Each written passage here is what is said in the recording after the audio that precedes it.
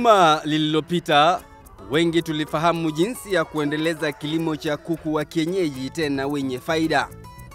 Kilimo cha ndege hakijakomea kwa kuku wa mayai wala wale wa nyama pekee.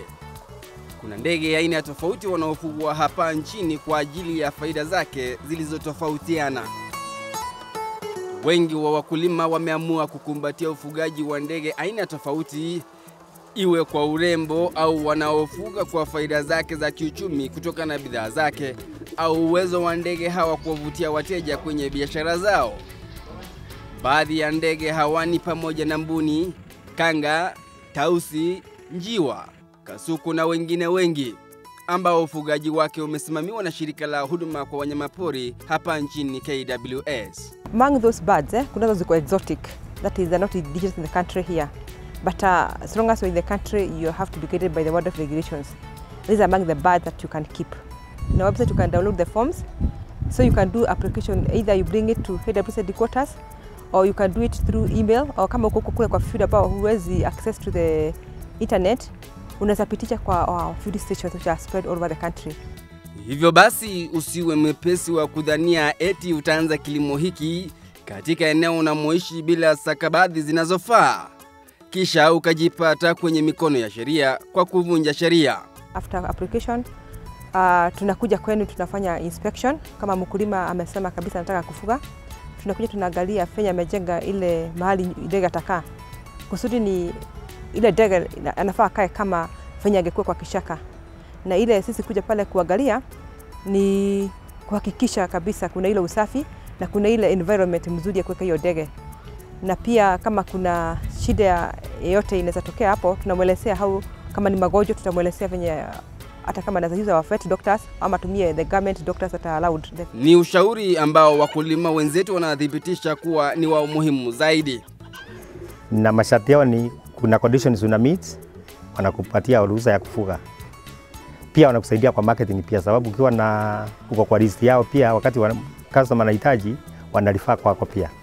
Ustawi wa ufugaji huu wa ndege wa mwituni umewezeshwa na KWS kwa vile nia yao ni kuwafanya wananchi kukumbatia hifadhi ya wanyamapori na pia ndege wetu katika maeneo tunamoishi. we do a lot of training, a lot of education to our communities because they are the people who are living with wildlife, na kutoka hapo ndio wanaelewa venye wanaweza faidika kutoka na wanyama wa pori, hata kama sio ndege peke yake, how they can benefit from wildlife, ili waweze kuweza kutusaidia katika kule kuhifadhi.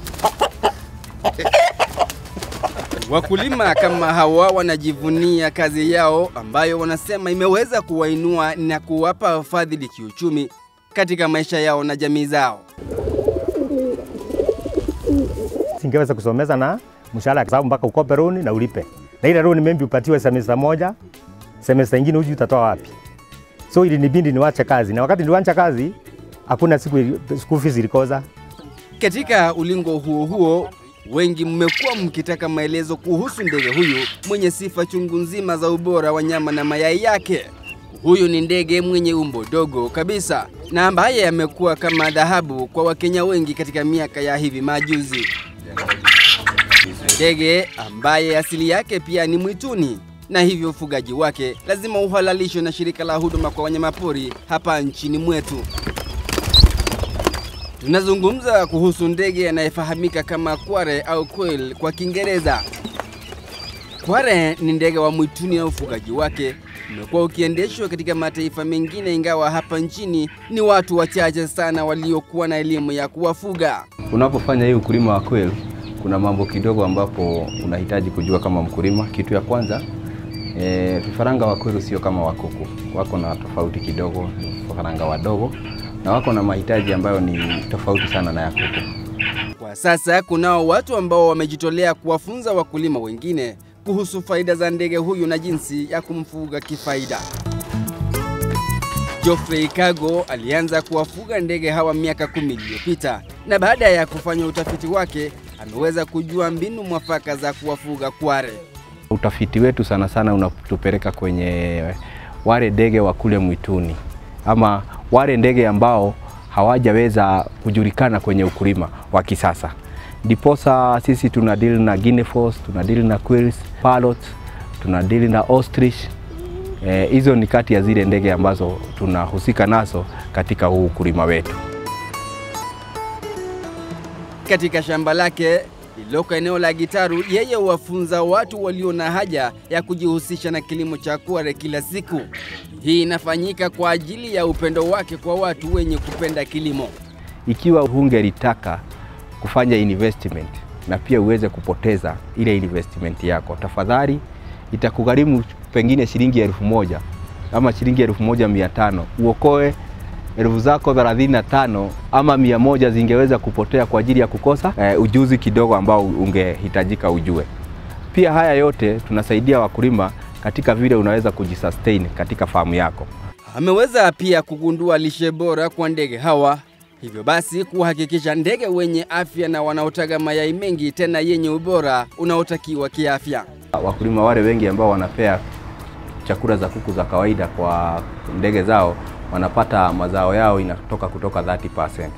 Katika kuwapa chakula ndege hawa, lishe hii lazima iwe na kiwango cha juu cha protini. Tunapotumia zile chakula ambazo ziko na 48% protein ambazo hiyo ndio ile kitu ambayo muhimu sana ile kwili inataka kwa ajili ya kutega kwake, na unapozipea hiyo chakula ambazo imefikisha kutoka 48% eh, hizo kwili zako zinatega kutoka 90 to 80% na utapata mayai yako pale na production yako ikuje sawa sawa. Baada ya kuwafuga kwa muda huu wote, amepata changamoto kadha wa kadha, lakini hizi amezitumia kama ngazi kupaa hadi alipo kwa sasa, ambapo anasema amefaidika si haba. Nilipofikiria kuhusu kuintroduce wale wa mwituni, nikaona pia tulikuwa na shida za production ambapo hawategi mayai mengi. Diposa tukajiuliza, je, tunaweza kufanyaje ili kusustain the greater demand? Diposa tukaleta wale ndege tunaita Japanese Jubo eh, ambapo ni wakubwa, ni mara tatu ya huyu mwingine wa kawaida, na ambapo wanaweza kutumika kwa nyama na pia mayai. Ni katika juhudi hizi zake ambapo pia ameweza kupata mwaliko hata nje ya taifa letu ili kuweza kuwasaidia wakulima wengine. tumeweza kufanya na various NGOs, international NGOs. I'm working with World Vision. Tunafanya na wale wengine ambao wanaweza kusaidia watu e, kama vile tulivyo katika e, hali ya kueneza ujuzi na biashara ambazo zinastahili, zinaweza kuwa za manufaa. Mandugu zetu Uganda, Rwanda, Burundi hawajafika pale. Tutakuwa tunafungua kazi zetu pale Uganda na pia tutakuwa na nchi zingine pia tutakuwa tukipanuka. Kwa hivyo tunaweza kusema ya kwamba we have a very great future with poultry and alternative farming in East Africa. Kware amekuwa ndege aliyeadimika sana na hata uwezo wake wa kuangua mayai kikawaida ni wa chini mno. Hivyo basi kuna kunawiri kwa kilimo hiki huhitaji mkulima kuwa na mashine ya kuangua mayai, yaani hatchery. Kago anao ujuzi wa kuzitengeneza mashine hizi katika karakana yake inayofahamika kama Kaki Poultry Farm. Katika karakana hii yake ameweza kuwaajiri watu wawili ili kumwezesha kukidhi mahitaji ya wakulima wengi wanaoagiza mashine hizi za kuangulia mayai. Kware huhitaji kufugwa kwa umakinifu mwingi tangu kuanguliwa hadi anapoanza kutaga mayai. Mayai yake huchukua siku 18 kuangua kwenye mashine hii na kisha vifaranga huwekwa kwenye vijisanduku vilivyo na joto, yani brooders. Ni pahali ambapo faranga wako wakiwa day old, ambapo tunajua Baada ya siku 14 watakuwa tayari kujistiri kivyao katika hali ya hewa ya kawaida.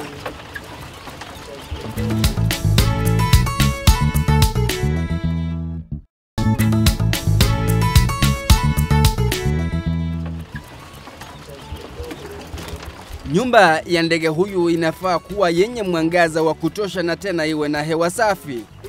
Ni vyema pia uweze kuondoa uchafu wa ndege hawa kila siku, la sivyo chumba kijengwe kwa namna ambavyo uchafu utaweza kujiangusha chini, mbali na wanaposhinda ndege hawa. Hii ni kuhakikisha usafi ili kuwakinga na maradhi yoyote. hawa ndege wana, wanakuwa ni adui wa panya. Panya amekula chakula, panya amekula vifaranga, na hiyo ndio imekuwa changamoto pia. Sasa hii tumeanza kutengeneza zile cages, standard cages, ambazo hiyo cage itaingia wale quail mia moja na inakuja compartment ya kuingia quail mia tatu. Kuko na sehemu ya maji na iko na sehemu ya, ya chakula na pia iko mahali ambapo hiyo hayo mayai yakianguka, kuna mahali yatatereza uyachukulie pale kando kwa keji yako. Yaani vile unapofanya ule ukulima uweke huyo ndege kulingana na vile anahitajika. Bikinuthia ni mkulima mwingine wa ndege hawa. Ni mama ambaye licha ya kuwa katika umri wa makamo ameweza kujitosa kwenye kilimo hiki tangu mwaka elfu mbili na kumi. Hii biashara ni nzuri juu iko na faida. Kama ni mborea borea, iko na borea mzuri, na tena bado unaokota hiyo mayai. Na kama sasa vile hii biashara imeanza kupik, utapata faida mzuri juu kama hiyo mayai tunauza from between 25 to 30 Alianza na ndege wapatao mia tatu na hii leo anajivunia kuwafuga ndege wasiopungua elfu tatu kwenye chumba hiki kidogo.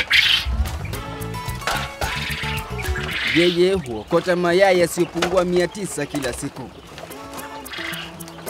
Anatufahamisha kuwa hii haikuwa biashara yake ya kwanza, kwani hapo awali aliweza kujihusisha na ufugaji wa mifugo na hata kuku.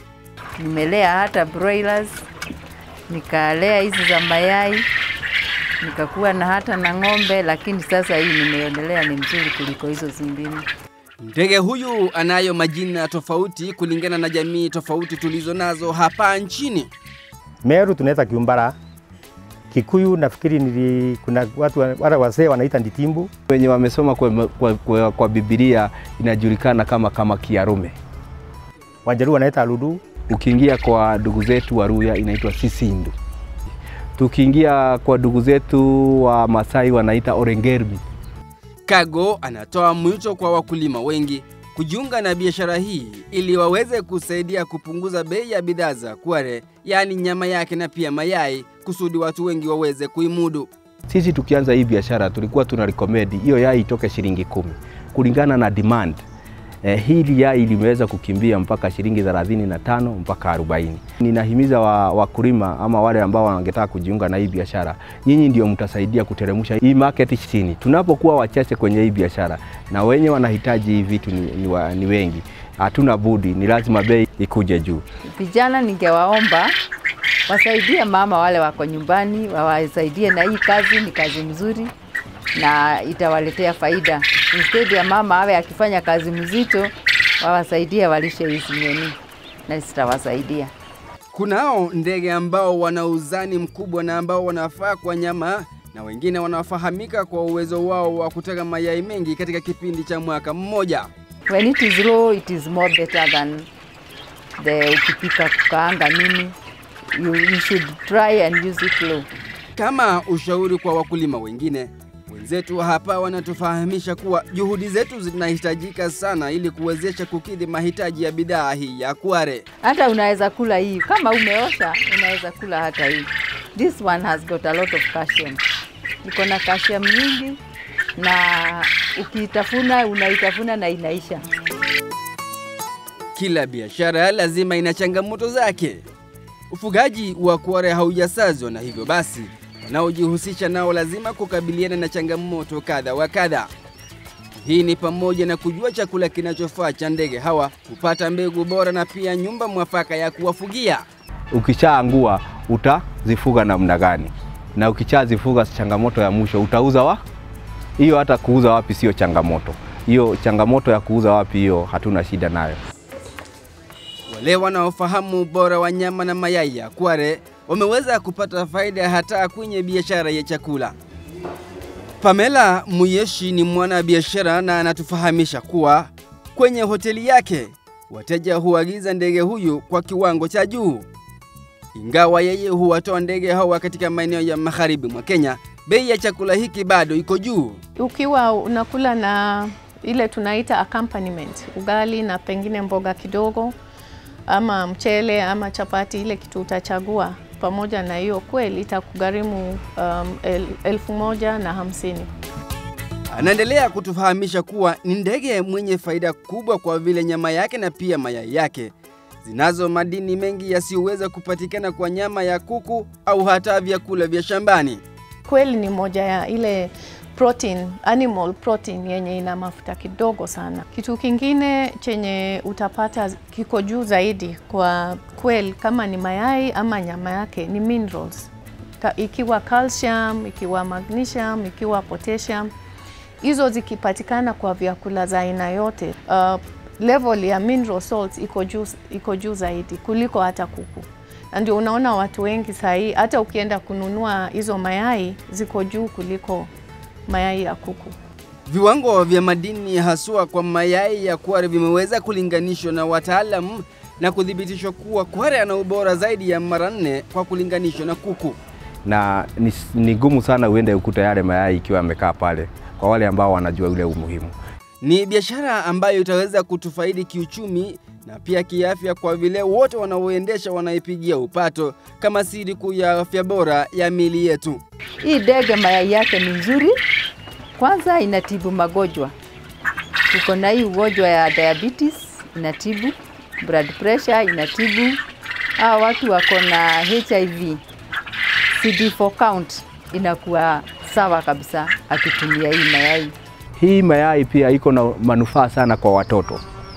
Mtu yoyote ambaye ako na mtoto mchanga, awe amezaliwa, awe amebebwa na mama kwa tumbo, awe ananyonyeshwa, mama mwenyewe mwenye amembeba, wote wanafaa kukula yale mayai ya kweli katika kuboost ile immune yao. Na kwa wale watoto wetu ambao wako kwenye shule, kwa memory ni tick, na pia katika kuboost your general welfare, ambaye mtu yeyote uwe ni mwanafunzi ama mtu yeyote anafanya kazi yake anatumia akili, anafaa yai, itamsaidia sana. Ni matumaini yetu kuwa tutaweza kufanya makadirio yetu na kuamua kama tutaendelea kutazama watu wakijiendeleza kupitia kilimo au tutajitosa humo ili nasi tuweze kujifaidi. Endelea kutegea makala haya ya kilimo biashara. Baada ya mapumziko, tutakujulisha jinsi ndege aina nyingine wanaweza kuwa pato kwako unapoamua kuwafuga kibiashara.